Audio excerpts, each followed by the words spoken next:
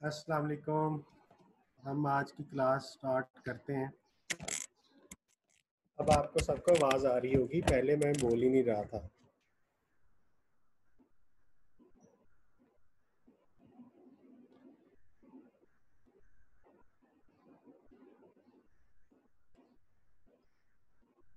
अच्छा बच्चों, ऐसा है कि कुछ कन्फ्यूजन्स आपके जहन में अभी भी बाकी हैं रिगार्डिंग गूगल क्लासरूम ठीक है?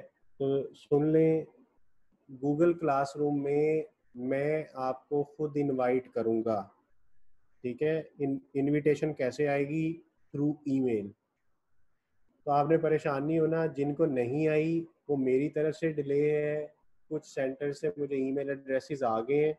मैं आप लोगों को ऐड नहीं कर सका।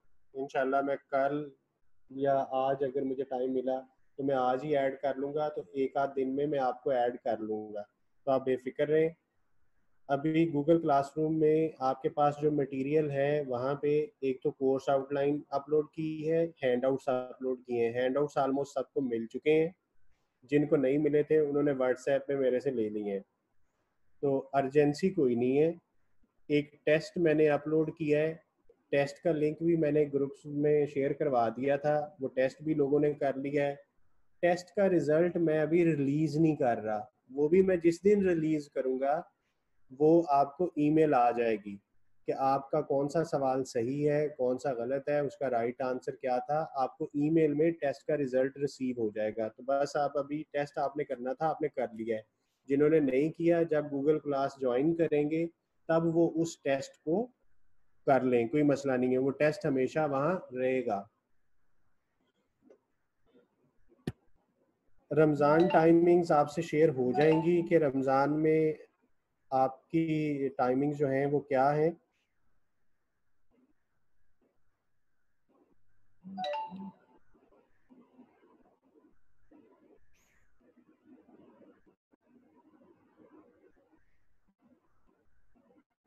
तो रमज़ान की टाइमिंग के हवाले से आपने परेशान नहीं होना। अच्छा कल भी कुछ लोग कह रहे थे कि आवाज़ डिस्टर्ब हो रही है तो मैंने स्टूडेंट से फीडबैक लिया तो almost more than fifty percent ने कहा कि आवाज़ ठीक है। लेकिन आज इंशाल्लाह ऐसा इशू नहीं होगा। मेरे पास फाइबर वाला नेट है तो इंशाल्लाह ये इशू नहीं आता। जो लोग वाईफाई पे सुनते हैं, उनको डिस्टॉर्शन आ सकती है। तो आप क्लास को अगर डाटा पे सुने तो वो ज़रा ज़्यादा सही रहेगी आपके पॉइंट ऑफ़ व्यू से। तो हम आज का लेक्चर स्टार्ट करते हैं जी। हमने कल एंड कहाँ पे किया था? हम कॉस्ट फोरकास्टिंग पढ़ रहे हैं कि हम फ्यूचर की कॉस्ट को प्रिडिक्ट करेंगे यूजिंग डिफरेंट मेथड्स हमने पहला method high low method complete किया हैंड आउट से। हम प्रैक्टिस सेशन में जब जाएँगे, हम दोबारा हाई लो मेथड के क्वेश्चंस करेंगे। अब हाइलो मेथड में मैं आपको ये कहता था, जैसे कि आपके सामने यही इलेस्ट्रेशन जो आपको नज़र आ रही है, जो हमने कल की थी एक्टिविटी टेन इसमें हमने हाईएस्ट और लोएस्ट एक्टिविटी लेवल को कंसिडर किया था। रेस्ट ऑफ़ द डाटा को हमने इग्नोर कर दिया। यानी ये ऐसा ही हुआ कि एक डाटा जो हमें दिया गया, उसमें से हमने सबसे हाईएस्ट लेवल को देखा सिर्फ़ सबसे लोएस्ट लेवल को देखा, जो इनके दरमियान का डाटा था, हम उसे इग्नोर करते रहे। ये ऐसे ही है कि मैं एक क्लास में सिर्फ़ उस स्टूडेंट से पूछ के कहूँ कि सबको समझ आ गई है जो बहुत लाइक है। यानी वो हाईएस्ट स्कोर वाला बंदा है, मैं उसी से पूछूँ और मैं अज्यूम कर लूँ सबसे समझ आ गई। इसी तरह जो सबसे लोएस्ट है, मैं उसको कंसिडर करूँ। तो बाकी जो रेस्ट ऑफ़ द क्लास है, मुझे उन्हें भी कंसिडर करना है यानी अगर समझ आने वाले को मैं बार बार एक ही बात रिपीट करता जाऊँ तो बहुत सारे लोग बोर हो जाएँगे कि अगर इसको समझ नहीं आ रही तो हमारा क्या कसूर है? हमें तो आगे पढ़ाया जाए। तो ये इसी तरह हाई लो मेथड जो है, इसमें भी हाई लेवल और लो लेवल को कंसिडर करके हम बाकी की ऑब्जर्वेशन को निग्लेक्ट कर देते हैं, जो कि सही नहीं है। और यही इस मेथड का ड्रॉबैक है कि इसके नतीजे में जो आंसर आएगा, वो रिलायबल नहीं होगा। यानी हम इसके नतीजे में y is equal to A plus B X करते हैं ना तो ये जो a है, ये b है, ये सिर्फ़ हाई और लो पॉइंट को कंसिडर करके बनाया गया है, ना कि पूरी पॉपुलेशन को कंसिडर करके, पूरे डाटा को कंसिडर करके। तो ये जो आंसर आएगा, ये मोस्ट रिलायबल नहीं है। लेकिन ये एक वेरी बेसिक टेक्निक है कि हम इस तरीके से फोरकास्टिंग कर सकते हैं। तो इसके एडवांटेजेस एंड लिमिटेशंस मैं आपके सामने स्क्रीन पे पढ़ रहा हूँ the main advantage of the high and low method is that it is easy to understand. कि आसान सा है कि एक हाई लेवल ले लो लो लेवल ले लो वेरिएबल कॉस्ट निकाल लो फिक्स्ड कॉस्ट निकाल लो तो easy to understand and use है। लिमिटेशंस क्या है? It relies on the historical data हर वो चीज़ जिसको आप हिस्ट्री की बेस पे असेस कर रहे हैं हिस्टोरिकल डाटा की बेस पे असेस कर रहे हैं तो वो जो हिस्टोरिकल डाटा है history is not a guarantee for future performance आप बात याद रखिएगा, कभी भी जो पास्ट है, वो गारंटी नहीं है कि फ्यूचर में ये हमेशा ऐसे ही होगा। आपको बिल्कुल आपके लेवल की एग्जांपल देता हूँ। आप में से बहुत सारे ऐसे स्टूडेंट होंगे जिन्होंने मैट्रिक में 90 परसेंट नंबर लिए होंगे। तो एफएससी में 90 नहीं आए। तो it means past performance it is not a guarantee for a future performance आपने एफएससी में 80 परसेंट नंबर लिए आईसीएमए में एडमिशन ले लिया, यहाँ पे 50 परसेंट भी नहीं आए। तो ऐसा हो जाता है।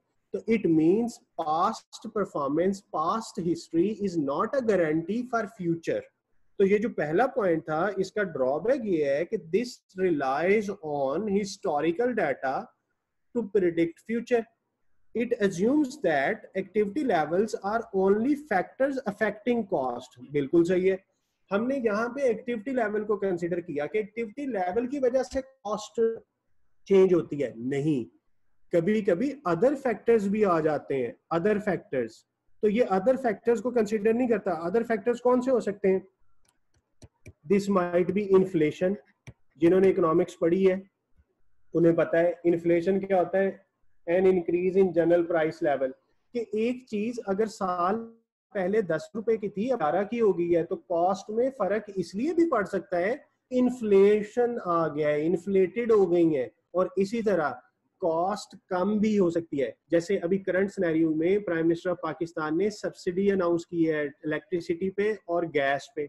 यूटिलिटीज पे सब्सिडी अनाउंस हुई है। अब वो रेट कम हो गया। तो आपने कंजम्पशन उतनी ही की, लेकिन रेट कम हो गया तो ये अदर फैक्टर्स हैं। तो हम यहाँ पे सिर्फ़ और सिर्फ़ एक फैक्टर को कंसिडर करके फोरकास्टिंग कर रहे हैं and that factor is the activity level no other factor is under consideration in this method और वजह क्या है? क्योंकि हम बिहेवियर पढ़ रहे थे ना तो बिहेवियर में हमने एजम्पशन ली थी। Ceteris paribus all other things will remain the same except activity level.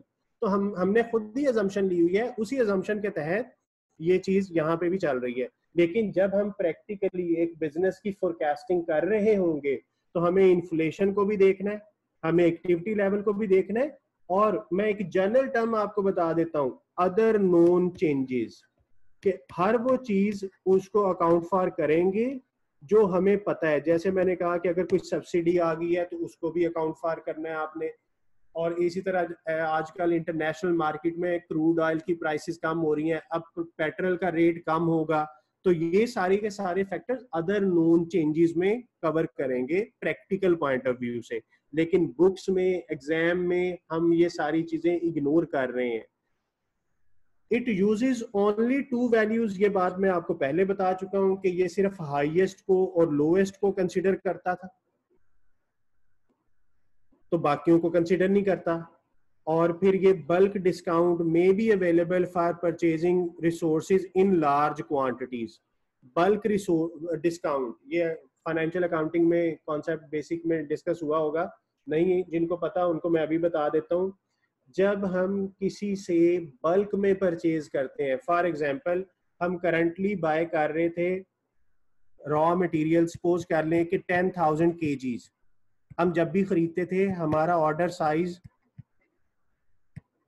Ten thousand के होता था और वो बंदा हमें चार्ज करता था रुपीज़ टेन पर के तो उसने हमें कहा कि अगर आप मेरे से थर्टी थाउज़ेंड के जी कट्ठा बाय करें। अगर ऑर्डर साइज़ आप जो है, वो थर्टी थाउज़ेंड के जी का कर दें तो मैं आपको जो रेट चार्ज करूँगा ना, वो रेट मैं आपको एट रुपीज़ का चार्ज करूँगा। तो ये भी प्रैक्टिकली होता है कि जब हम बल्क परचेजिंग की तरफ़ जाते हैं तो वो बल्क परचेजिंग पे डिस्काउंट मिलता है तो हमने उसे कंसिडर नहीं किया। तो ये वो अदर फैक्टर्स ही थे अदर नोन चेंजेस यानी ये वो वाली चेंजेस हैं जिनका हमें एज अ फोरकास्टिंग एक्सपर्ट पता होना चाहिए। तो ये अदर नोन चेंजेस को हम प्रैक्टिकल पॉइंट ऑफ़ व्यू से कंसिडर करते हैं। लेकिन यहाँ पे fundamentals of cost and management accounting के सिलेबस में आपको सिर्फ़ और सिर्फ़ एक्टिविटी लेवल के लिहाज से ही करना है। तो ये आपको थोरेटिकली अब ये सवाल आपको कैसे पूछा जा सकता है? कि क्या high low method bulk discount को कंसीडर करता है? तो आंसर क्या होगा? No no. क्या high low method whole population को कंसिडर करता है? आंसर होगा नहीं. It consider only highest and lowest फिर इन्फ्लेशन को कंसिडर करता है? नो no, ये सिर्फ़ एक्टिविटी लेवल की वजह से कॉस्ट का इफ़ेक्ट कैलकुलेट करता है। अब हमने जिस दिन फोरकास्टिंग स्टार्ट की थी हमने कहा था तीन मेथड्स हैं। एक हाइलो मेथड, दूसरा लीनियर रिग्रेशन, तीसरा स्कैटर्ड ग्राफ।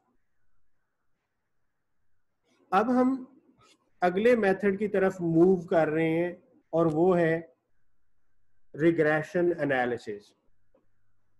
जिन्होंने बिज़नेस मैथ स्टैट का पेपर पढ़ा, ऑपरेशनल लेवल टू में, उन्होंने स्टैटिस्टिक्स के सिलेबस में ये चीज़ पढ़ी होगी।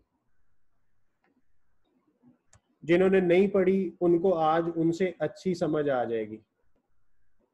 लीस्ट स्क्वेयर रिग्रेशन एनालिसिस और लीनियर रिग्रेशन एनालिसिस दो नाम है लीस्ट स्केयर रिग्रेशन एनालिसिस भी कहते हैं और लीनियर रिग्रेशन एनालिसिस भी कहते हैं। ये जो लीनियर रिग्रेशन एनालिसिस की इक्वेशन है, वो हमने ऑलरेडी पढ़ ली है। Y is equal to A plus B X normally जब आप किताबें देखते हैं तो हाई लो मेथड में वो ये इक्वेशन यूज़ नहीं करता। जो मैंने हाई लो में यूज़ करा दिया तरीका वही होता है। लेकिन मैं ये करता हूँ कि मैं स्टूडेंट को एक ही तरीके से सब कुछ करा देता हूँ, ताकि आप पे बर्डन कम आए। तो मैंने ये इक्वेशन आपको पहले ही बता चुका हूँ। तो वाई क्या होगा? डिपेंडेंट वेरिएबल आपको पता है। A intercept on Y axis अब ये क्या चीज़ है? ये भी मैथ की टर्मिनोलॉजी है। हमने जिस दिन ग्राफ पढ़े थे, हमने कहा था एक्स एक्सिस पे यूनिट्स लेने वाई एक्सिस पे कॉस्ट लेनी है। और सेमी वेरिएबल कॉस्ट का ग्राफ ये था कि फिक्स्ड कॉस्ट होगी और फिर उससे ऊपर वेरिएबल कॉस्ट चलेगी। ये वाला पोर्शन नीचे वाला पोर्शन फिक्स्ड कॉस्ट को शो करता था। ये ऊपर वाला पोर्शन वेरिएबल कॉस्ट को शो करता था और ये जो टोटल पोर्शन है ये सेमी वेरिएबल कॉस्ट को शो करता है। इसका मतलब ये हुआ कि ये जो पॉइंट है, ये फिक्स्ड कॉस्ट की रीडिंग है। अगर ये डॉलर फिगर है तो ये बता रहा है कि फिक्स्ड कॉस्ट इतनी है। और इसको हमने नाम दिया हुआ ए अब ये जो पॉइंट ए है, ये वाई को इंटरसेप्ट कर रहा है। तो इसीलिए इसको नाम दिया गया ए क्या है? इंटरसेप्ट ऑन वाई एक्सिस अच्छा बी ग्रेडियंट अब जिन्होंने मैथ पढ़ा है, उनको ये पता है कि ग्रेडियंट का मतलब क्या है? मैट्रिक में या एफएससी में? ग्रेडियंट मैथ वाले कहते हैं कि टेंजेंट थीटा के बराबर होता है। यानी अगर मैं इस लाइन का डिग्री फाइंड कर लूँ कि कितने डिग्री का ये एंगल है, और उस वैल्यू पे मैं टेंजेंट थीटा जो कैलकुलेटर से आप कैलकुलेट करते थे तो वो tangent theta is the gradient लेकिन हम कॉस्ट अकाउंटिंग पढ़ रहे हैं, हमने यहाँ पे ट्रिग्नोमेट्री नहीं पढ़नी। इसलिए हम इसको इस तरीके से कैलकुलेट नहीं करेंगे कि हमारे पास वो एक मयरिंग के लिए टूल हो जो हमें बताए कि कितने डिग्री का ये एंगल है। उस एंगल का टेंजेंट थीटा कैलकुलेट कर लें तो वो ग्रेडियंट आ जाता है। तो हम उस कम्प्लेक्सिटी में नहीं जा रहे। अच्छा और जिनको याद होगा जिन्होंने एफएससी में लाइंस वाला चैप्टर पढ़ा है तो वहाँ पे ये पढ़ाया जाता है कि ये जो ग्रेडियंट होता है, इसे टेंजेंट थीटा भी कहते हैं और इसको स्लोप ऑफ़ द लाइन भी कहते हैं। स्लोप ऑफ़ द लाइन यानी इस लाइन की स्लोप क्या है? अब स्लोप फाइंड करने के लिए मैं आपको अपनी नोटबुक पे जाके इसी ग्राफ को जरा थोड़ा डिस्कस करना चाहता हूँ। ताकि आपको बेटर अंडरस्टैंडिंग हो जाए।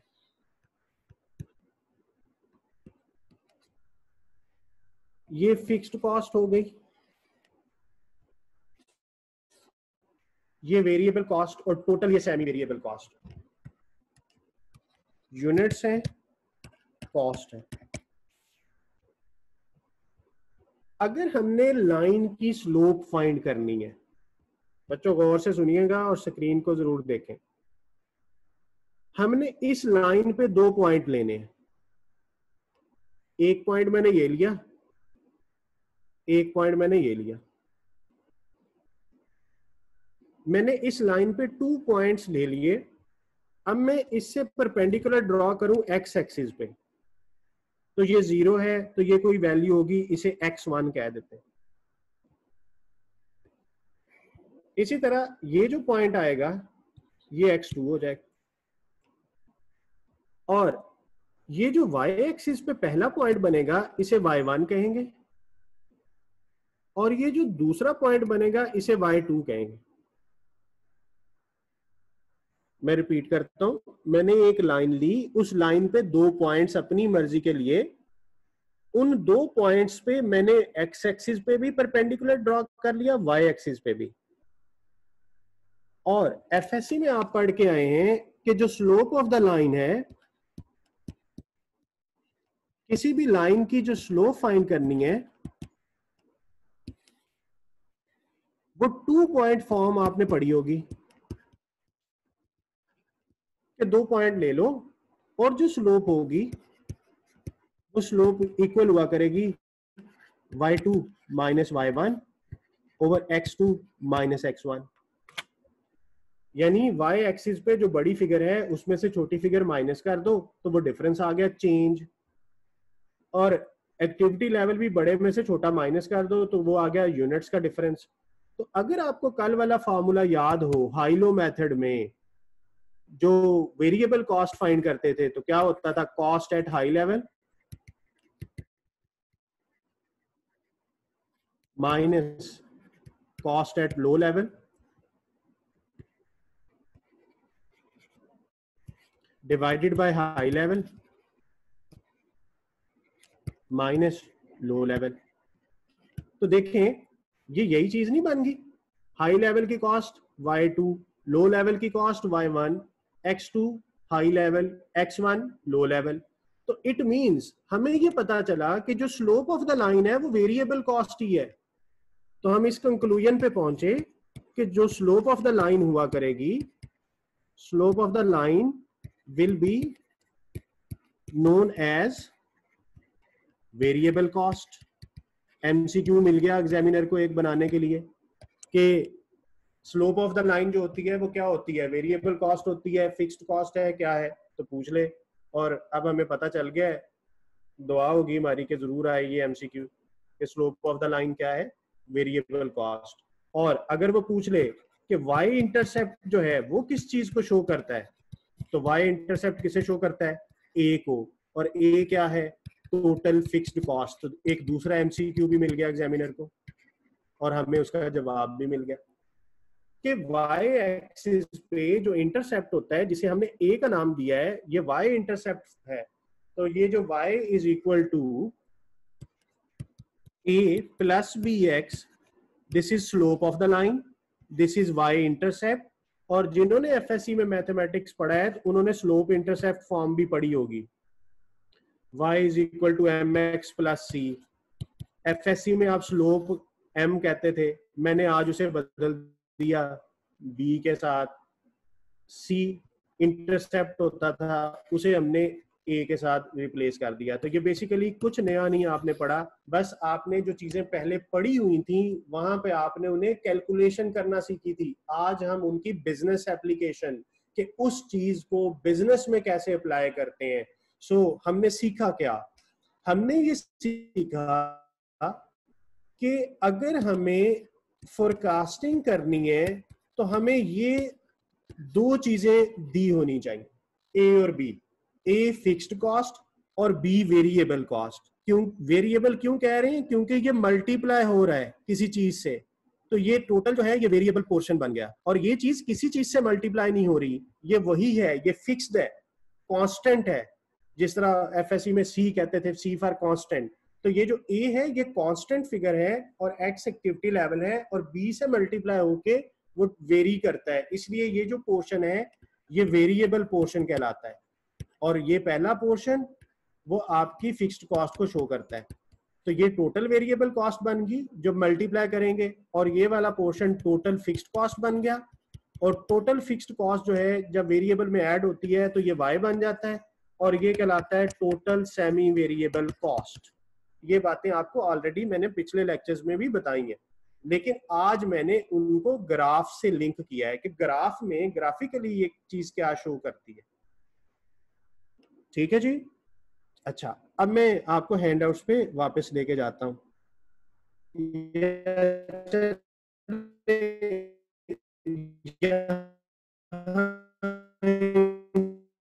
डिस्कस कर लेते हैं अब रिग्रेशन रिग्रेशन है रिग्रेशन में हमने बी कैसे फाइंड करना है? और हमने ए कैसे फाइंड करना है? हाइलो मेथड में हमने बी इस तरीके से फाइंड किया था। और ए कैसे फाइंड करते थे, वो भी आपको पता है। अब रिग्रेशन में हमने ए किसी और तरीके से फाइंड करना है। बी किसी और तरीके से फाइंड करना है। अब वो मैं आपको मेथड सिखाता हूँ जी रिग्रेशन वाला। जी। अब बी फाइंड होगा इस मेथड से। Summation X Y minus summation X summation y over n summation x square minus summation x whole square ये थोड़ा कॉम्प्लिकेटेड फार्मूला लग रहा होगा आपको। अभी मैं इसको बहुत अच्छी तरह एक्सप्लेन करने जा रहा हूँ। इसी तरह ए जो फाइंड करना है, वो फाइंड करना है इस फार्मूला से। A is equal to Y bar इसको वाई बार पढ़ते हैं एवरेज भी इसको कह सकते हैं, और बी एक्स बार इन दो तरीकों से हमने ए और बी फाइंड करना है तो वो रिग्रेशन एनालिसिस हो जाएगा। अब एक्टिविटी इलेवन रिग्रेशन की है जी। अब आपने नहाए अटेंशन के साथ इस एक्टिविटी को समझना है। ये एक एक्टिविटी हम करेंगे, उसके बाद हमें किसी एक्टिविटी करने की ज़रूरत नहीं है। डेटा क्या दिया हुआ है following is the data of six months output month one two three four five six छह महीनों का डाटा है यूनिट्स दिए हुए हैं कॉस्ट दी हुई है calculate the line of best fit using regression analysis अब ये टर्म देखें लाइन ऑफ़ बेस्ट फिट हमने लाइन बतानी है जो बेस्ट फिट करे इस डाटा के साथ कौन सा मेथड यूज़ करके रिग्रेशन एनालिसिस यूज़ करके और वो लाइन ऑफ़ बेस्ट फिट वही है y equal to A plus B X this is the line of best fit लेकिन डाटा अब हाई लो से नहीं करना रिग्रेशन से सॉल्व करना है। तो रिग्रेशन से सॉल्व करेंगे तो हमें पता है ए किस तरीके से फाइंड होना है बी किस तरीके से फाइंड होना है। अब हमने फॉर्मूला पढ़ा। बी का मैं यहाँ पे साइड पे ही कैलकुलेट कर देता हूँ। B is equal to n summation X Y minus summation x summation y over N summation X square minus summation X whole square अब जिन्होंने तो मैथमेटिक्स को पढ़ा हुआ है, उनको लिए तो ये मसला नहीं है। कुछ स्टूडेंट्स ने अभी आईसीएमए में पहला सेमेस्टर है, उनका, उनको ये टर्मिनोलॉजी हो सकता है, भूल चुकी हो तो मैं अब आपको बताता हूँ। सबमिशन का मतलब होता है जमा करना ऐड करना। इसका मतलब है कि अगर मैंने इसे एक्स कहा है और कॉस्ट को वाई कहा है तो अगर मैं इन सारी कॉस्ट को ऐड कर लू तो ये जो आंसर आएगा this will be summation X और अगर मैं वाई सारों को ऐड कर लू तो ये जो आंसर आएगा, इसे नाम देंगे सबमिशन वाई तो अगर हम 80 प्लस 60 प्लस 120 करें तो समिशन ऑफ़ एक्स जो है, वो 450 है. तो इसे वहाँ पे यूज़ करेंगे जहाँ पे इसकी जगह है. स्क्रीन पे देखिएगा। समीशन एक्स जो है, वो 450 है। वो हमने यहाँ यूज़ करना है। इसको हमने मल्टीप्लाई करना है समीशन वाई से। तो वाई का जो सम है, वो भी आपको मैंने दे दिया 4050 तो मल्टीप्लाई करना है 4050 से। तो ये पोर्शन बन गया। एन क्या चीज़ है? एन गौर से सुनिएगा एमसीक्यू में भी वो पूछता है। N is the number of pairs of data I repeat N is the numbers of pairs of data तो कितने पेयर्स हैं? ये छह पेयर हैं. One two three four five and six so N is six तो यहाँ पे six लिखा। अब ये चीज़ मल्टीप्लाई किससे हो रही है? समीशन एक्स वाई से। अब गौर से स्क्रीन पे देखिएगा। क्या ये समीशन एक्स वाई और ये चीज़ बराबर है? बिल्कुल नहीं। क्योंकि ये जो चीज़ है, इसमें समीशन एक्स को मल्टीप्लाई कर रहे हैं समीशन वाई से, जैसे कि हमने किया। और ये जो चीज़ है, ये है एक्स वाई का summation it means I need to work for X Y मैं एक्स वाई का एक कॉलम बनाऊँ। एक्स वाई कैसे होगा? एक्स को वाई से मल्टीप्लाई करें। तो जो x को y से मल्टीप्लाई करके आंसर आएगा 80 इंटू सेवन वो हम यहाँ लिखेंगे। इसी तरह 60 इंटू सिक्स हम यहाँ लिखेंगे और एट द एंड हम इन सब का जब जब सम लेंगे तो ये बनेगा समीशन एक्स वाई तो क्वेश्चन में समीशन एक्स वाई भी मैंने लिख दिया 326 500 326 500 तो इस पोर्शन को सॉल्व करना है। फिर इस पोर्शन को दोनों का लेना है डिफरेंस अब हम आ जाते हैं बेस में. N is six summation X square और ये है समीशन एक्स का स्क्वेयर तो इसका मतलब है ये चीज़ तो बनेगी 450 का स्क्वेयर ये जो समीशन एक्स का स्क्वेयर लेना है तो समीशन एक्स 450 था 450 का स्क्वेयर लिया. अब ये है एक्स स्क्वेयर तो इसका मतलब है? मुझे एक कॉलम बनाना है जो कि एक्स स्क्वेयर होगा। तो उसको मैं इधर बना लू या इधर बना लू? आपको पता है कि ये आपका पेपर कंप्यूटर बेस्ड है। इसमें आपको इतना लेंथी क्वेश्चन नहीं आना। मैं आपको आखिर पे इसका कैलकुलेटर से आंसर डायरेक्ट निकालना भी सिखाऊँगा, ताकि आप पेपर में टाइम बचाएँ। लेकिन एक सवाल मैं आपको कंप्लीट इसलिए करवा रहा हूँ कि आपके जहन में इसकी कंप्लीट वर्किंग ज़रूर होनी चाहिए। आपको पता होना चाहिए कि ये इस तरीके से सॉल्व होता है। बाद में तो हम जस्ट कैलकुलेटर से within one minute answer निकाल लिया करेंगे ए का भी बी का भी। जी। तो एक्स स्क्वेयर एक कॉलम बनेगा तो एटी का स्क्वेयर लेंगे? तो वो ये हो जाएगा।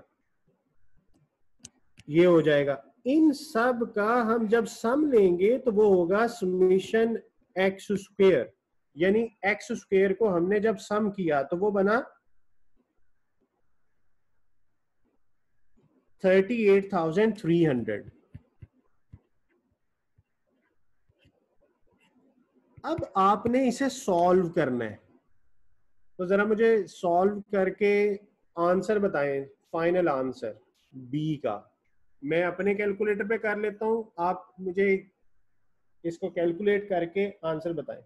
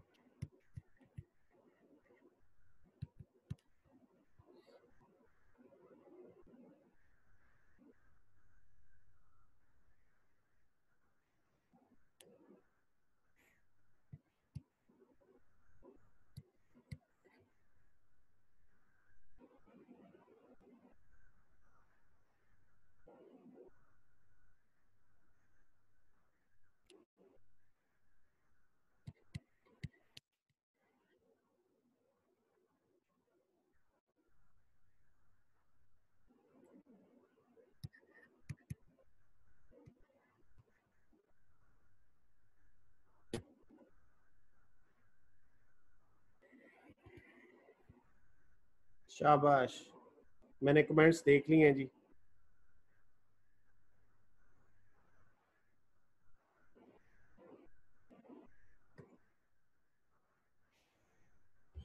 जी। तो ये फाइव आंसर आ गया बी का। अब ये फाइव क्या है? डाटा में देखें कि ये जो कॉस्ट थी, ये किस करेंसी में थी? ये रुपीज़ में है। तो ये रुपीज़ हो गई। और इस बी को हमने नाम दिया हुआ है वेरिएबल कॉस्ट का तो ये पर यूनिट आंसर आ गया। सो so, बी हमने फाइंड कर लिया रुपीज़ फाइव पर यूनिट अब उसके बाद हमने फाइंड करना है ए अब रिग्रेशन में ए किस तरीके से फाइंड करना है उसका फॉर्मूला मैंने आपके सामने शो करवाया था। Y bar minus B X bar.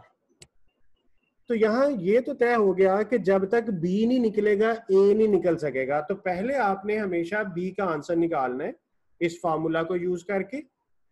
अब हम अगली बात पढ़ते हैं कि ये चीज़ें क्या है? वाई बार और एक्स बार।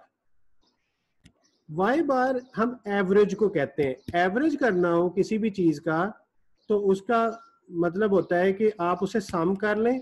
और एन से डिवाइड कर दें तो वो एवरेज हो जाते है। माइनस बी और एक्स बार का मतलब है कि आप एक्स को जमा कर लें और एन से डिवाइड कर दें। तो हमने ऑलरेडी समिशन वाई और समिशन एक्स दोनों निकाले हुए हैं। Four zero five zero divided by six N was six minus B is five into summation X four fifty divided by six इसको सॉल्व कर लें।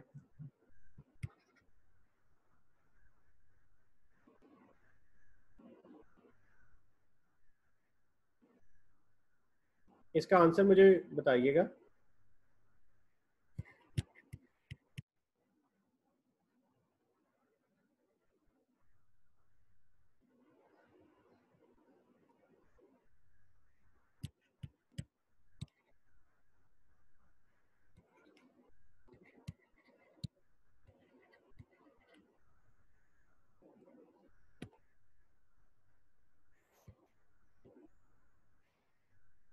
थ्री हंड्रेड शाबाश। मैंने कमेंट्स देखे हैं। थ्री हंड्रेड आंसर आ गया। अच्छा अब ये 300 क्या चीज़ थी? ये वाई को शो ये टोटल कॉस्ट को शो कर रहा है। तो अगर आप डाटा देखें तो इस डाटा में ना तीन ज़ीरो राउंड हुए हुए थे। सारे लोग स्क्रीन पे देखें, इस डाटा में तीन ज़ीरो राउंड किए थे, यानी रुपीज़ थाउज़ेंड तो इट मींस ये जो फिक्स्ड कॉस्ट का आंसर है, ये जब थाउज़ेंड से मल्टीप्लाई होगा, क्योंकि हमने थाउज़ेंड राउंड किया हुआ था तो ये मल्टीप्लाई होके ये बनेगा। क्योंकि डाटा में थ्री ज़ीरो राउंड किए थे, यानी थाउज़ेंड राउंड किया था तो जो आंसर आया फिक्स्ड कॉस्ट का, मैंने उसे थाउज़ेंड से मल्टीप्लाई कर दिया। क्योंकि अगर थाउज़ेंड राउंड ना किया होता तो ये क्वेश्चन की फिगर जीरोस बहुत ज़्यादा बन जाने थे तो इसलिए राउंड किया हुआ था। तो आपने याद रखना है कि अगर राउंडिंग हुई हुई है तो आपने एट द एंड आके फिक्स्ड कॉस्ट का जो आंसर है, उसे मल्टीप्लाई बाय थाउज़ेंड कर देना, अगर थाउज़ेंड राउंड है। तो जब आपने ए और बी फाइंड कर लिया तो उसके बाद आपने बस लाइन ऑफ़ बेस्ट फिट बनानी है। और लाइन ऑफ़ बेस्ट फिट क्या है? A plus B bx a is 300,000 plus 5x तो ये लाइन ऑफ़ बेस्ट फिट बन गई। किस मेथड को यूज़ करके? रिग्रेशन को यूज़ करके। तो इस पूरे सॉल्यूशन को आप स्क्रीनशॉट ले लें। ए और बी की कैलकुलेशन ये पेज नंबर फोर्टीन पे एक्टिविटी थी ये उसका सोल्यूशन है। ए और बी को कैलकुलेट किया और उसको हमने एक लाइन ऑफ़ बेस्ट फिट बना दी। ये जो लाइन आई, इसका नाम है लाइन ऑफ़ बेस्ट फिट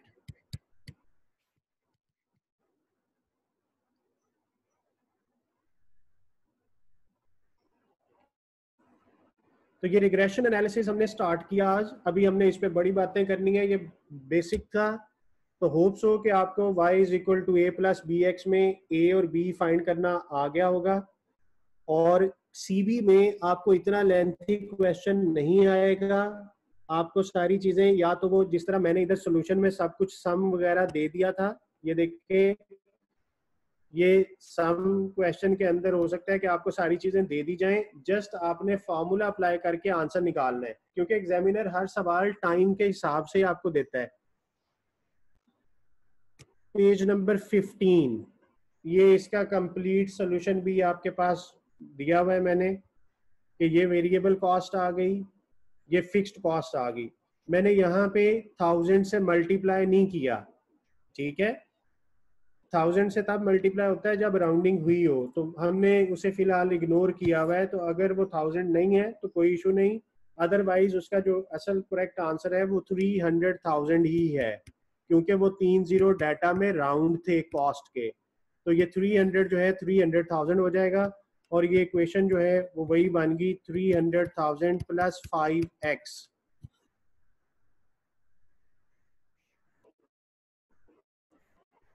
ये वो कॉस्ट इक्वेशन को एक्सप्लेन किया है कि भाई क्या है? ए इंटरसेप्ट है बी वेरिएबल कॉस्ट है ग्रेडियंट होता है एक्स इंडिपेंडेंट वेरिएबल है वाई डिपेंडेंट वेरिएबल है। तो ये सारी चीज़ें जो है, मैं आपको जब इधर खुद से पढ़ा रहा था बोर्ड यूज़ कर रहा था तो मैंने यहाँ पे आपको ये सारी चीज़ें बता दी हैं।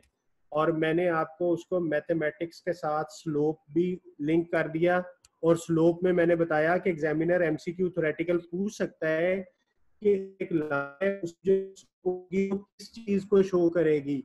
वो वेरिएबल कॉस्ट को शो करेगी। और जो वाई इंटरसेप्ट है, वो किस चीज़ को शो करेगा?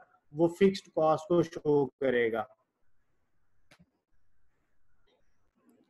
तो ये पेज नंबर 16 में वही सारी चीज़ें बताई हुई हैं। होप्सो कि आपको समझ आ गई होगी। अच्छा अब हमने को क्लियर करना है सिर्फ़ कुछ पिक्चर्स देख के। अच्छा सीबी में आपने ग्राफ नहीं बनाना। आपको ग्राफ दिखाया जाएगा। आपने सिर्फ़ उस ग्राफ से रिलेटेड अपने कॉन्सेप्ट को अप्लाई करना है। तो आप इस स्क्रीन को देखें। सबसे पहले आपको इक्वेशन दी हुई है y is equal to five thousand plus ten X अब मुझे जरा बताएँ फाइव थाउज़ेंड किस चीज़ को शो कर रहा है? जी बताइए फाइव थाउज़ेंड किस चीज़ को शो कर रहा है?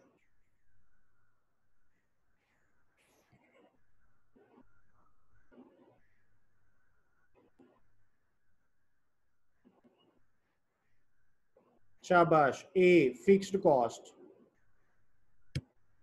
ओके ये जो टेन है टेन एक्स लिखा हुआ है ना तो ये टेन किसको शो करता है? वेरिएबल कॉस्ट को, शाबाश। और एक्स एक्टिविटी लेवल को। तो ये देखें, ये वाई इंटरसेप्ट है। ये उसने बी टेन यानी स्लोप ऑफ़ द लाइन वो वेरिएबल कॉस्ट है। और एक्स की जगह पे कोई भी वैल्यू लिखेंगे तो आंसर आता जाएगा। अब आपको जी सीबी में इस तरह के सवाल भी आ सकते हैं। एक्टिविटी ट्वेल्व कहता है कॉस्ट इक्वेशन है, y is equal to eight thousand plus forty X तो फिक्स्ड कॉस्ट कितनी है? मुझे पूरा यकीन है कि सबको पता है कि फिक्स्ड कॉस्ट कितनी है eight thousand variable cost per unit कितनी है? तो जो एक्स के साथ लिखा होता है, वो वेरिएबल कॉस्ट है तो वो फोर्टी है जी पर यूनिट और फिर कहता है कि मुझे कॉस्ट बता दें 200 यूनिट की। तो कोई मसला नहीं है 200 यूनिट की कॉस्ट निकल आती है अभी। 8000 प्लस 40 इंटू टू तो इसको सॉल्व कर लेते हैं। 16,000 तो यहाँ पे 16,000 सीबी में बेसिकली एप्लीकेशन आनी है। मैं आपको डायरेक्ट भी ये सवाल करा सकता हूँ कि आपको तो यही चाहिए लेकिन मैंने आपको पूरी डेप्थ बताई है कि ये चीज़ इस तरीके से होनी है। Activity thirteen one four double eight plus twenty X अब जरा रिक्वायरमेंट देखें कैसे घुमा के पूछी है। The line would cross the Y axis at a point कहता है लाइन वाई एक्सिस को कहाँ पे टच करेगी? यानी अगर ये लाइन है तो ये वाई एक्सिस को कहाँ पे टच करेगी? अब हमें सबको पता है कि कहाँ पे टच करती है? ए पे। और ए को फिक्स्ड कॉस्ट कहते हैं तो ए की जगह पे उसने क्या लिखा हुआ है? वन फोर डबल एट तो यहाँ पे लिखेंगे one four double eight the gradient of the line कहता है लाइन का जो ग्रेडियंट है, वो कितना है? अब हम इतने बड़े हो चुके हैं कि हमें ग्रेडियंट का मतलब पता है टेंजेंट थीटा या वेरिएबल कॉस्ट तो इट मींस वो तो बी है। तो ग्रेडियंट जो है, वो ट्वेंटी है। And the independent variable is तो इंडिपेंडेंट वेरिएबल क्या है? एक्स है। तो ये हमें पता है। तो देखें क्या ये मुश्किल है। लेकिन अगर मैंने आपको उसकी पूरी डिटेल ना बताई होती तो आप इस सवाल का जवाब कैसे देते? तो इसीलिए दुनिया में कोई चीज़ मुश्किल नहीं है, अगर आप उसे अंडरस्टैंड कर गए हैं। Activity 14 if the total cost of the product is given as y is equal to 4800 plus 8x the fixed cost is ye pata sabko 4800 variable cost is 8 cost of producing 100 units y is equal to 4800 plus 8x 4800 plus 8 into 100 शाबाश, answer मैं देख रहा हूँ। जी, कितना हो गया ये? Fifty six hundred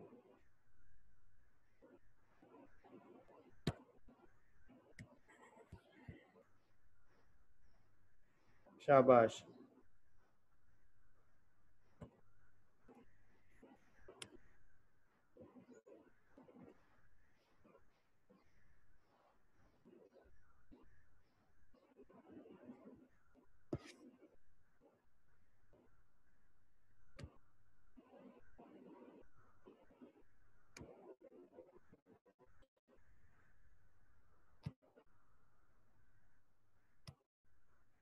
अब आज के करता हूँ। हमने आज सीखा क्या?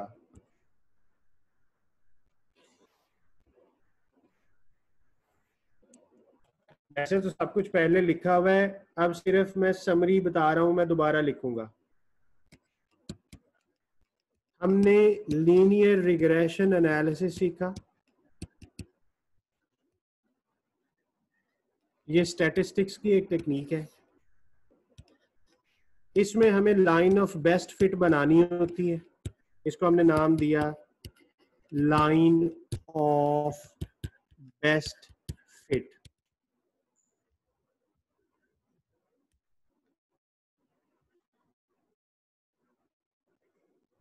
A कैसे फाइंड करना है? बी कैसे फाइंड करना है?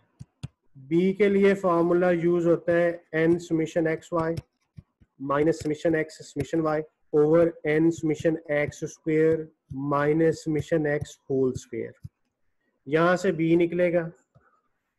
जब बी आ जाए तो ए फाइंड करना है और ए का फार्मूला है summation Y over N minus B summation X over N तो ये बी फाइंड करने का फार्मूला और ए फाइंड करने का फार्मूला जब ए और बी आ जाए तो उसे पुट करना है।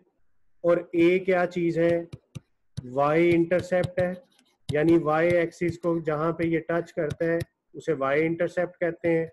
और ये किस चीज़ को शो करता है? ये टोटल फिक्स्ड कॉस्ट को शो करता है अकाउंटेंट के पॉइंट ऑफ़ व्यू से। फिर हमने पढ़ा B B slope of the line है, कि जो लाइन है, उस लाइन की जो स्लोप है, वो बी है। और ये किस चीज़ को शो करती है? वेरिएबल कॉस्ट पर यूनिट और slope of the line tangent theta भी कहते हैं, लेकिन यहाँ पे आपको आईसीएमए में वो ट्रिग्नोमेट्री से लिंक नहीं करता। अकाउंटेंट बन के ही सोचता है मैथमेटिशियन बन के नहीं सोचना। तो हमें स्लोप ऑफ़ द लाइन का पता होना चाहिए। अब स्लोप ऑफ़ द लाइन ये जो रिग्रेशन में हमने सब कुछ किया, अगर आप देखें, आप ऑब्ज़र्व करें तो हमने जो डाटा लिया एक्स और वाई का, वो डाटा जो है, वो सारी ऑब्जर्वेशन को कंसिडर कर रहा था ना। हमने ऐसा तो नहीं किया कि हाई को ले लिया लो को ले लिया। तो जो हाई लो मेथड का पहला ड्रॉबैक था कि ये हाई और लो को कंसिडर करता है, ये सारी पॉपुलेशन को कंसिडर नहीं करता तो ये, इस मेथड ने इसे कवर अप कर लिया। यानी अब वो नहीं रहा कि हमने सिर्फ़ दो पॉइंट दिए, एक वो जो एक्सट्रीम पे है, एक वो जो लोएस्ट पे है, हमने सबको देखा, हमने सारी ऑब्जर्वेशन को सम किया। तो इस मेथड में वो ड्रॉबैक खत्म हो गया। लेकिन हमने इन्फ्लेशन को कंसिडर नहीं किया, हमने अदर चेंजेस को अभी भी कंसिडर नहीं किया तो हम सिर्फ़ और सिर्फ़ एक्टिविटी लेवल यानी इंडिपेंडेंट वेरिएबल के लिहाज से देख रहे हैं तो ये चीज़ें बाकी की ड्रॉबैक्स वही हैं, लेकिन इस मेथड ने आपकी जो हाई लो वाली रिजर्वेशन थी, उसे खत्म कर दिया। इसने पूरी पॉपुलेशन को, पूरे डाटा को कंसिडर किया।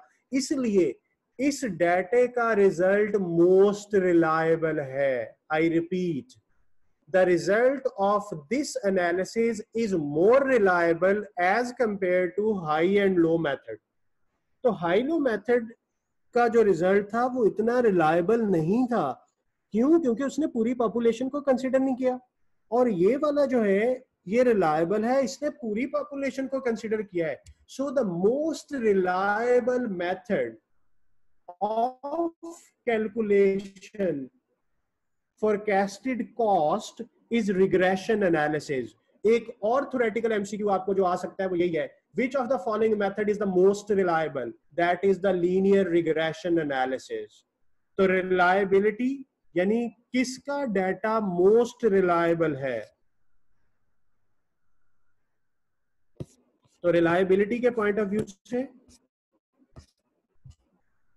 हमने कहा कि जो रिग्रेशन एनालिसिस है वो मोस्ट रिलायबल है। तो मैं इसको भी यहाँ पे लिख देता हूँ आप भी लिख लीजिएगा। मोस्ट रिलायबल और correct forecast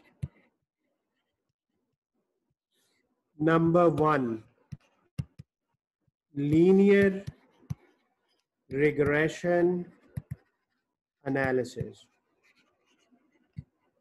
और इसका दूसरा नाम भी हैंडआउट्स में लिखा हुआ है least square second high and low second number पे हाई एंड लो है. और जो थर्ड मेथड है स्कैटर्ड ग्राफ वो सबसे कम रिलायबल है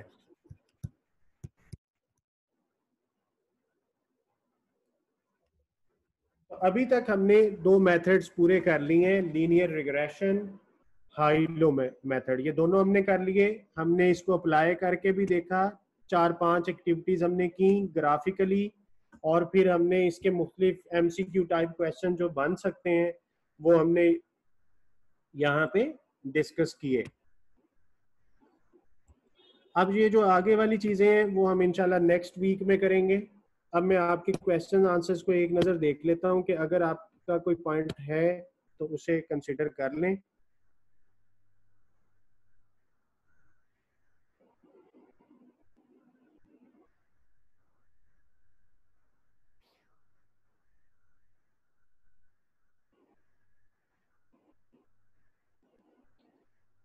अच्छा जी, आज एक स्टूडेंट ने फिर कमेंट किया है कि आज मेरी पहली क्लास है। मुझे कुछ समझ नहीं आ रहा। तो ये बात काफ़ी लॉजिकल है कि अगर आपकी आज पहली क्लास है तो आपको वाकई समझ नहीं आएगा, लेकिन रिग्रेशन तो इंडिपेंडेंट था, वो आज हमने पढ़ा। अगर आप जहनी तौर पे ये अज्यूम करके बैठे हैं कि आज आपकी पहली क्लास है तो आपको समझ नहीं आने वाला तो फिर आपको वाकई समझ नहीं आएगा। अब आपने करना क्या है? अगर आप आज, आपकी आज पहली क्लास है तो अब आपको करना क्या है? आपको जो हैंडआउट्स मिले हैं, उन हैंडआउट्स को पढ़ें। आपके पोर्टल में, जो आपका I C world dot T V वाला पोर्टल है, जहाँ पे आप लॉग इन आई डी से एंटर होते हैं, वहाँ पे आपको प्रीवियस रिकॉर्डेड लेक्चर चंद दिन तक मिल जाएँगे लेक्चर वाइज तो वो आप टाइम निकाल के वहाँ से उन्हें सुने। मेरे सारे लेक्चर जो हैं वो सेल्फ एक्सप्लेनेटरी हैं। अगर आप उनको ध्यान से सुन लें तो वो आपके लिए सफिशेंट है। उसके बावजूद अगर कोई मसला रह गया तो उसे हम फ्यूचर में डिस्कस कर लेंगे। अब आपने करना ये है कि आपने रेगुलर रह के पढ़ना है। कोई क्लास मिस नहीं करनी और वीकेंड पे प्रीवियस लेक्चर को सुनना है। हैंडआउट्स अगर आपके पास नहीं है तो गूगल क्लासरूम का लिंक मैं आपको इनशाला आज नहीं तो कल भेज दूँगा, जिनको नहीं आया। वहाँ से आप डाउनलोड कर सकते हैं, हैंडआउट्स भी, आउटलाइन भी और बुक्स भी। जब आप किसी भी चीज़ को क्लिक करेंगे, वो ओपन हो जाएगा और उसे ओपन करने के बाद आप उस पे कर्सर को लेके जाएँ, वहाँ पे आपको प्रिंट या डाउनलोड की ऑप्शन आएगी। प्रिंट पे भी कनेक्ट अगर आप क्लिक करेंगे तो वहाँ से भी डाउनलोड हो जाता होता है सेव एज करके। तो आपको फ़ाइल सारी बुक्स वहाँ से डाउनलोड हो जाएँगी हैंडआउट्स भी बुक्स भी किट भी। तो आप उनको पढ़ें। हमने बुक के लिहाज से ऑलमोस्ट दो नहीं तो एक चैप्टर तो ज़रूर कंप्लीट कर लिया है कॉस्ट क्लासिफिकेशन का। हैंडआउट्स में हमारे अभी तीन पेजेस रहते हैं। वो इनशाला अगले दिन पहली क्लास में हम उसे ख़त्म कर लेंगे। फिर हमारा ये टॉपिक कंप्लीट हो जाएगा। और जो लिंक का मुझे बार बार कह रहे हैं, वो मैं रिपीट कर रहा हूँ कि मैं खुद से आपको इनविटेशन भेजूँगा। और मैंने सेंटर से, सारे सेंटर से डाटा मंगवाया हुआ है। वो डाटा मैं आपको लिंक भेज दूँगा। और आपको पता है सेंटर मुझे वो डाटा देगा जो स्टूडेंट रजिस्टर्ड हैं। तो होप्स हो के सबका डाटा मेरे पास आ जाएगा। तो मैं आपको इनवाइट कर लूँगा।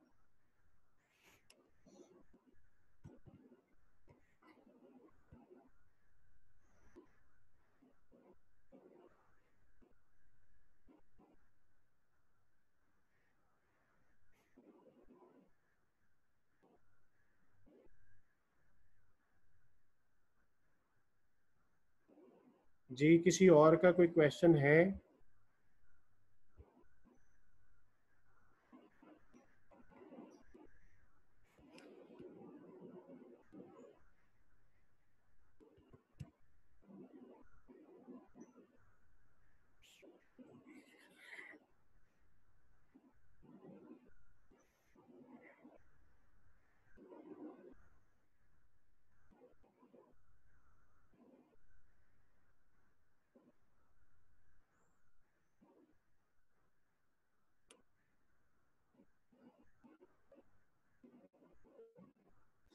अच्छा जी, एक क्वेश्चन मुझे नज़र आया है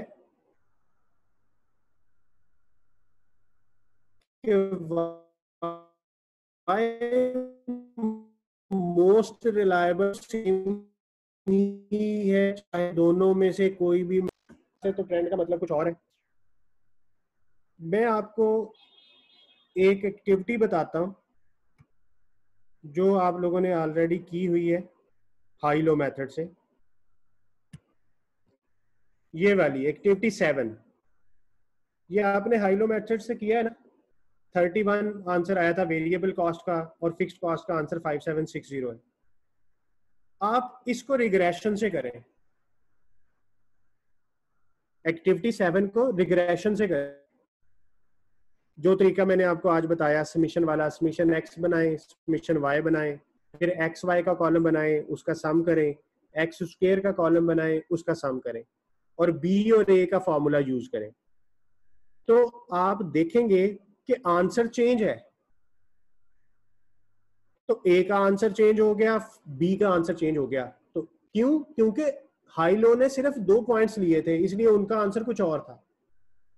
रिग्रेशन ने सारे पॉइंट्स लिए हैं उसका आंसर कुछ और आएगा। तो आप सारे लोगों ने एक्टिविटी सेवन को रिग्रेशन से करना है, ताकि आपको आइडिया क्लियर हो जाए कि सबसे अच्छा मेथड रिग्रेशन ही है, क्योंकि वो सारी ऑब्जर्वेशन को ले रहा है। ये ऐसे ही है कि एक टीचर अगर सारे स्टूडेंट्स को देख के क्लास पढ़ा रहा है कि मुझे किस लेवल पे जाके पढ़ानी है तो सबको समझ आ जाएगी। और अगर मैं सिर्फ़ एक लाइक स्टूडेंट को फोकस करके पढ़ाऊं तो मैं एक दिन में उतना काम करा सकता हूँ जो मैं आपको तीन दिन में कराता हूँ। तो मुझे पूरी क्लास को लेके चलना है। इसीलिए ये डाटा भी पूरे डाटा को कंसिडर करके रिग्रेशन आंसर निकालता है, ना कि सिर्फ़ दो पॉइंट्स को। तो इसी वजह से लॉजिकली देखें तो regression is the best option आप इसे न्यूमेरिकली वेरीफाई करना चाहते हैं तो आपने एक्टिविटी सेवन को रिग्रेशन से करना है। और इसको करके देख लीजिएगा आंसर आपका चेंज आ जाएगा।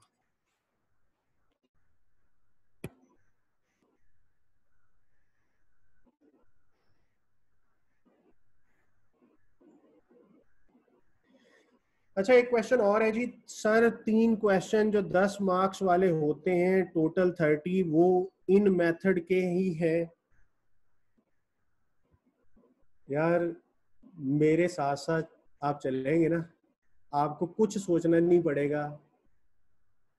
जहाँ पे लॉन्ग क्वेश्चन आएगा, इस टॉपिक से जो लॉन्ग बन सकता है, वो मैं आपको बताऊँगा। अभी जस्ट चीज़ें सीखें। स्टार्टिंग है आप चीज़ें सीखें। आपको जहाँ पे लॉन्ग क्वेश्चन बनेगा, मैं आपको लॉन्ग भी करवाऊँगा। जैसे मैंने रिग्रेशन का बताया है तो रिग्रेशन की मैंने सारी वर्किंग कराई है। मैं आपके सामने स्क्रीन शेयर करूँगा कि एग्ज़ाम में ये नज़र आता है। अभी एग्ज़ाम बहुत दूर है, अभी हमने कोर्स पढ़ना है, आप सिर्फ़ कोर्स पढ़े। लॉन्ग क्वेश्चन शॉर्ट क्वेश्चन वो हर तरह के सवाल हम करेंगे। जैसे अभी मैंने आपको इलस्ट्रेशन कराती कराता हूँ तो सॉल्व होती है सारी। तो आप समझिए लॉन्ग है। अब इसे कंप्यूटर में किस तरह फ़ीड करना है? याद रखिएगा आईसीएम पाकिस्तान में जितने भी लॉन्ग क्वेश्चंस हैं, वो आपकी जस्ट आपने वहाँ पे सिलेक्ट करना है या न्यूमेरिक एंटर करना है। आपने टेक्स्ट टाइप नहीं करना। आपने टाइपिंग नहीं करनी। टाइपिंग में जो आपसे इनपुट ली जाएगी, वो ज़्यादा से ज़्यादा नुमेरिक है फिगर्स लिखनी है। जैसे अभी मैं आपके सामने एक्टिविटी में आंसर लिख रहा था, एक बॉक्स खाली नज़र आ रहा था, मैंने उसके अंदर 4800 या जो भी आंसर आया, मैंने वो लिखा। आपसे सिर्फ़ ये काम करवाया जाएगा। तो मैं आपको सारा ये समझाऊँगा। पेपर में जाने से पहले हम इसका डेमो करेंगे।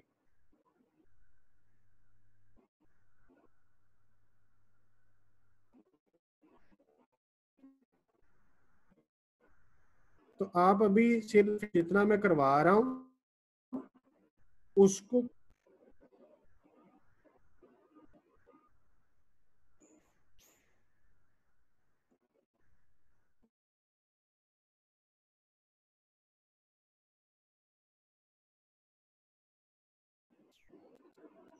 वन हंड्रेड पार्टिसिपेंट्स आ जाते हैं, एक बच्चा एक एक मैसेज करे तो हंड्रेड बन जाता है। मैंने उसका अल्टरनेट ये सोचा है कि मैंने जैसे सेंटर से डाटा लिया है, मैं आपका सेंटर वाइज ग्रुप बनाऊँगा कि लाहौर सेंटर का अलहदा ग्रुप होगा, फैसलाबाद का अलहदा, इस्लामाबाद का अलहदा।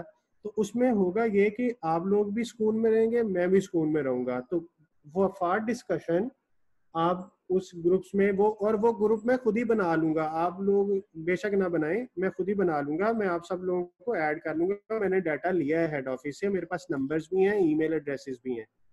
तो आप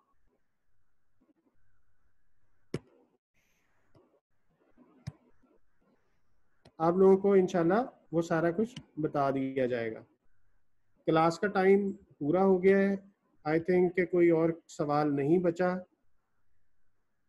मैंने सारी चीज़ें कर ली हैं। आप लोग बस आखिरी नसीहत आपको ये है कि आप इस माइंड के साथ क्लास सुना करें कि आपको सुन के समझ आए। ना कि कि मैं बाद में कॉल पे पूछूँ, मैसेज पे पूछूँ। आप समझें कि और कोई रास्ता नहीं है, मैंने आज यहाँ से सीख के उठना है। तो आपको ये समझ आ जाएगी। लेकिन अगर आप ये सेकंड ऑप्शन रख लें कि अच्छा एक व्हाट्सएप की ऑप्शन भी है। मैं कॉल पे भी पूछ लूँगा। तो फिर आपको वाकई कमी रह जाएगी। तो आप सिर्फ़ एक सिंपल सा रूल अप्लाई करें सारी क्लासेस में कि आपने यहाँ से लर्न करके उठना है। तो फिर इनशाला आपको सब समझ आता रहेगा। फिर भी ना समझ आए, सारे लोग बहुत कोऑपरेटिव हैं, आपको पता ही है तो आप इनशाला समझ जाएँगे। अपना ख्याल रखिएगा इनशाला नेक्स्ट वीक में हम आगे पढ़ेंगे।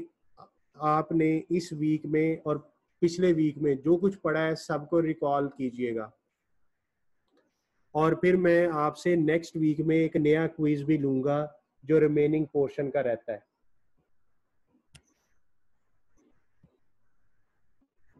ओके okay जी, अल्लाह हाफिज़।